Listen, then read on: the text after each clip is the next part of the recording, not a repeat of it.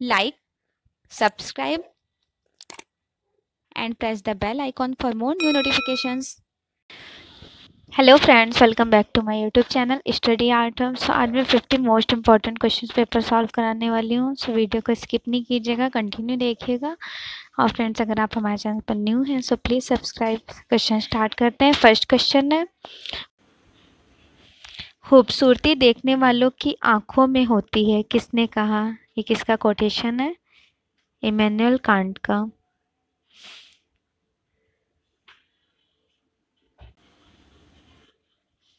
सौंदर्य शास्त्र के पितामह कौन थे?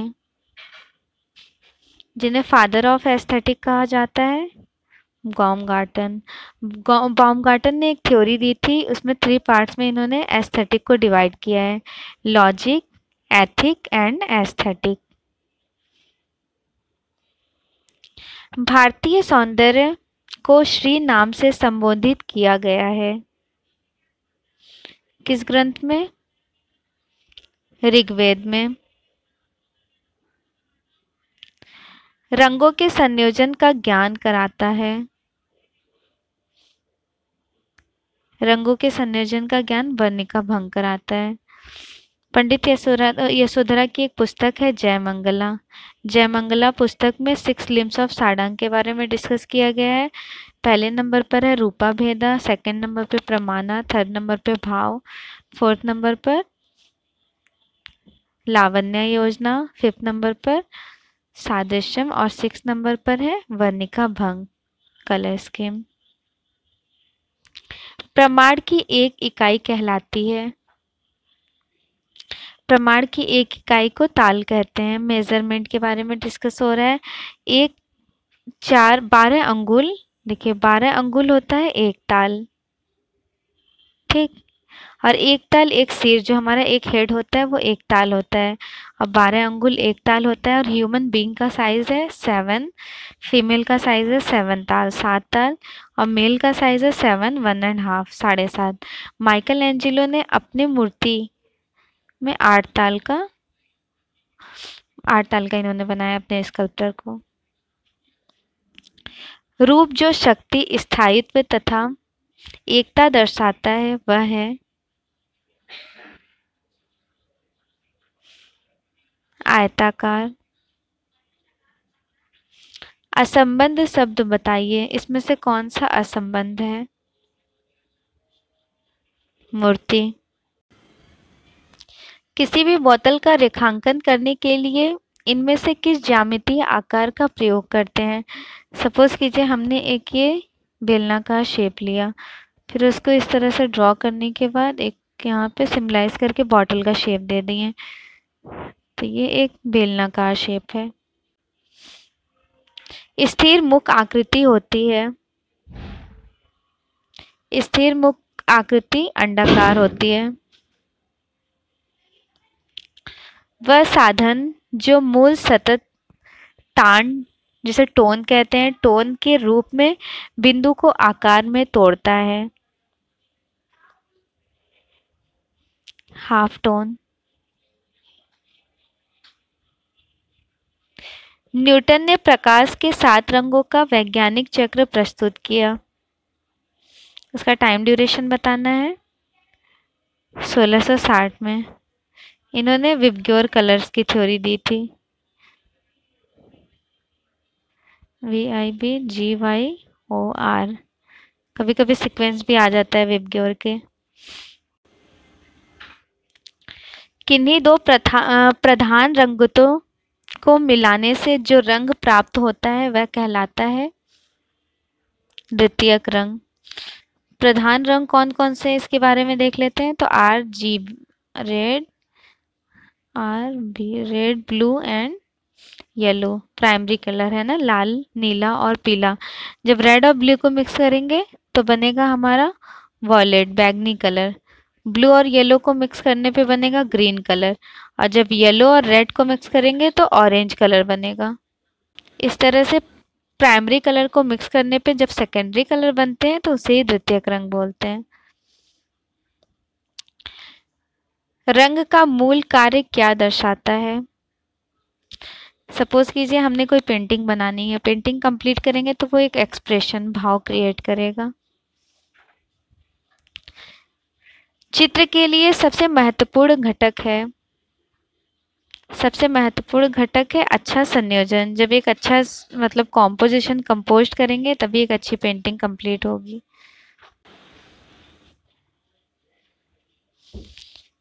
भित्ति चित्र किस शब्द, किस भाषा से उत्पन्न शब्द है? अंग्रेज़ी भाषा से, फ्रेस्कोस से। अक्सर किसे अंग्रेज़ी जल रंग का जनक माना जाता है? Father of water colour, Paul Sandby. और इंडिया में वाटर कलर का यूज़ किए हैं अवनीनाथ टैगोर, फ़र्स्ट टाइम। अवनीनाथ टैगोर ने वॉश टेक्निक ग्वाश रंगों की प्रकृति कैसी होती है? ग्वाश रंगों की प्रकृति अपारदर्शी होती है। निम्न में से सबसे सॉफ्ट लेड मुलायम नोक वाली पेंसिल है। सबसे सॉफ्ट लेड वाली पेंसिल है टेन बी स्क्रबलिंग किसे कहते हैं? मोटे रंग के पारदर्शित तरह को, परत को स्क्रबलिंग कहते हैं। चारकोल क्या है? चारकोल एक कोयला है। हड़प्पा में मिट्टी के बर्तनों पर सामान्यतः किस रंग का प्रयोग हुआ है? लाल रंग का। मुगल काल में जानवरों और पक्षियों के चित्र का विशेषज्ञ कौन था? उस्ताद मंसूर। किस सम्राट ने दरबनामा को चालू किया? आर्टिस्ट आर्टिस्ट के काल में हुआ शाहजहां राजा थे, उनके टाइम में आर्टिस्ट ने किया है। किस प्रसिद्ध मुगल सम्राट ने भारतीय कहानियों पर काम शुरू किया?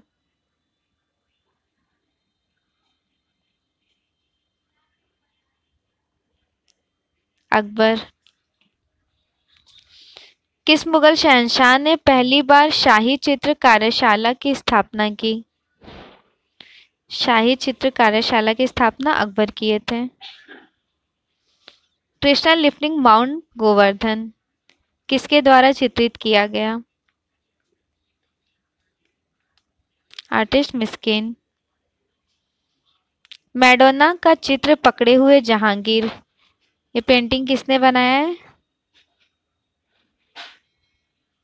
इंग्लिश में बोलते हैं इस पेंटिंग को Jahangir holding the picture of Madonna Abul Hasan.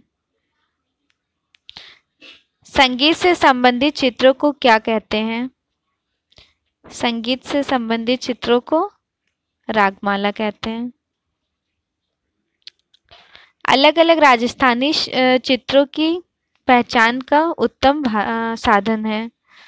अलग अलग राजस्थानी क्षेत्रों की जो पहचान है, वो आँखों से है।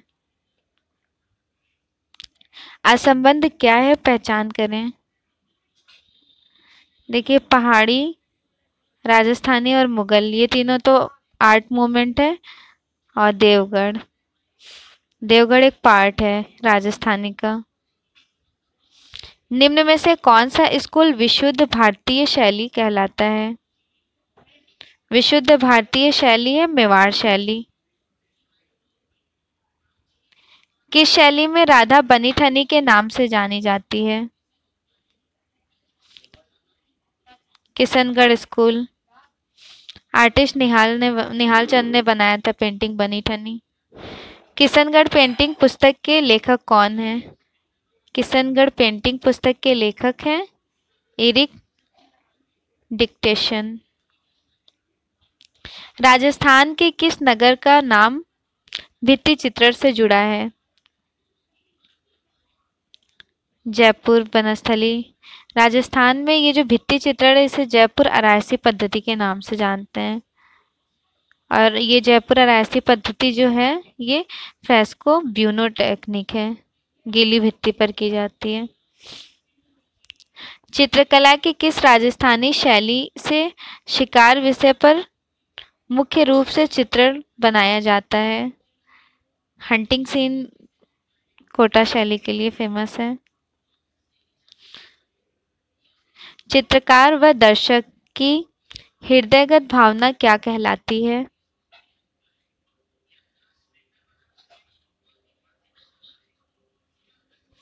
भाव कहलाती है। किस अधिकरण में तीसरे अध्याय के चौथे नंबर की कला आलेख्य है? कामा सूत्रा में। विंसेंट स्मिथ ने जोगीमारा गुफाओं का समय क्या माना है? विंसेंट स्मिथ के अकॉर्डिंग जोगीमारा गुफा का टाइम ड्यूरेशन है पहली शताब्दी ईसा पूर्व। किसके अनुसार जोगीमारा की गुफा चित्रों का विषय यूनानी बताया गया है? डॉक्टर ब्लैक के अकॉर्डिंग यूनानी बताया गया है। राय कृष्ण दास, एक सेकेंड।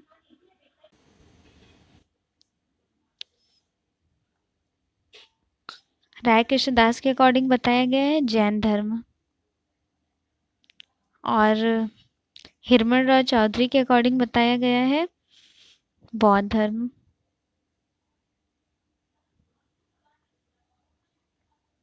और डॉक्टर ब्लॉक के अकॉर्डिंग यूनानी कला बताई गई है। जोगीमारा गुफा के चित्रों में हाशिए किस रंग से बनाए गए हैं? जोगीमारा गुफा में हाशिए बनाए गए हैं पीले रंग से। और यहाँ पे और डिस्कस कर लेते हैं। देखिए, इस तरह का सरफेस हो गया जोगीमारा का छत भित्ति।